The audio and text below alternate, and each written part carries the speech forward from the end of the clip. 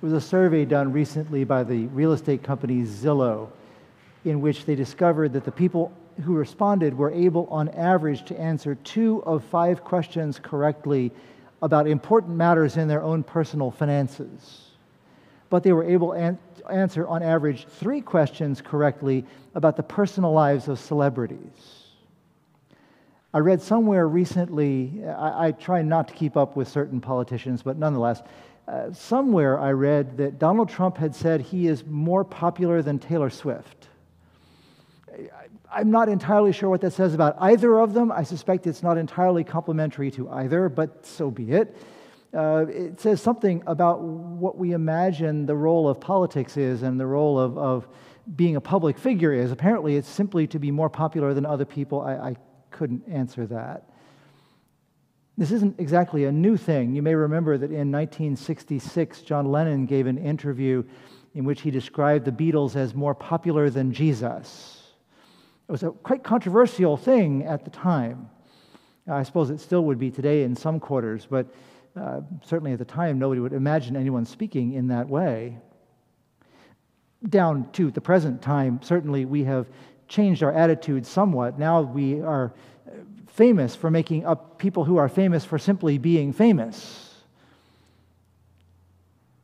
I'm not sure what that says about them or us. I suspect it is worth our time to stop and think a little about whether that is wise and the ways that it cheapens both them and us. If someone is famous for nothing in particular, what do we even know about that person and what may be the light of God that shines in that person? Say about us that we don't care about finding the light in that person, but simply want to love to hate that person for what he or she wears, or where he or she goes, or says, or, or whatever else he or she may do? This gospel lesson that we heard read just now is the same one that was read on the fifth Sunday of Lent. And on that occasion, I preached at some length about the way that in the Gospel of John, the cross and the events of Holy Week are, are revealing, in a negative sense, of the systems of this world, an exposing, an expose of the ways that the ways of this world, the systems of this world, enslave us and kill us in one way or another. I want to suggest to you that the little story we hear once again tonight says something to us about the system of fame and acclaim and popularity I don't want to make too much of the poor Greeks. I'm sure that they had good reasons for religious reasons for coming to Jerusalem for the festival, but I also think it's probably realistic to imagine they were just a little starstruck by Jesus. And that they were coming to see him in part simply because he was famous, rather than for anything they expected to get from him in terms of wisdom. And this may help us a little bit to understand his response which sounds just a little bit cranky.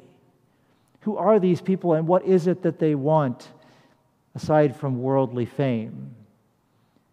I think what happens in this story, and certainly what happens for the rest of Holy Week, makes very clear to us how little value human acclaim plays in God's valuing of the world and of us. It certainly cannot grant us salvation to be famous. It cannot ennoble us to be famous. All we have to do is look at the famous people we can think of. It can't grant us any sort of immortality. If I rattled off the names David Garrick, Sarah Siddons, and John Philip Kemble, would you know who any of those people are? Well, they were the rock star theater performers of the 18th century in English language theater, and nobody has any idea who they are now. They're gone, forgotten. Our fame falls to the ground with us.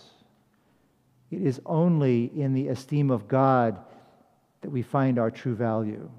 It is only in following the example of humility that Jesus sets, in being willing even to become notorious, to be ashamed for the sake of God, that we find the way of Christ in our own lives. It's a hard message because we like to be popular. We like to be successful. We want to feel like other people admire us for who we are and what we do. But if we read anything in the story of Good Friday, it is that God will find the value in us regardless of what anyone else may see. And indeed will find value in things that others would gladly discard. That is worth thinking about as we go through our own lives and decide what part of ourselves is truly valuable to God.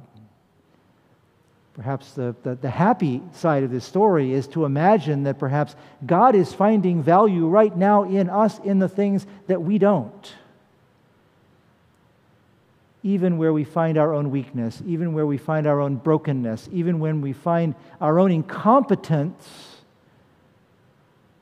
God is finding a way to transform those things for the glory of God's kingdom. So, again, spare a, a, kind thought for the Greeks as we also look for just a little bit of rubbing up against the star power of Jesus. But always remember where that leads. Ultimately to the glory of God, but through a great deal of pain. Let each one of us not disdain to do that as well in the hope of attaining the glory that God desires for each one of us. Amen.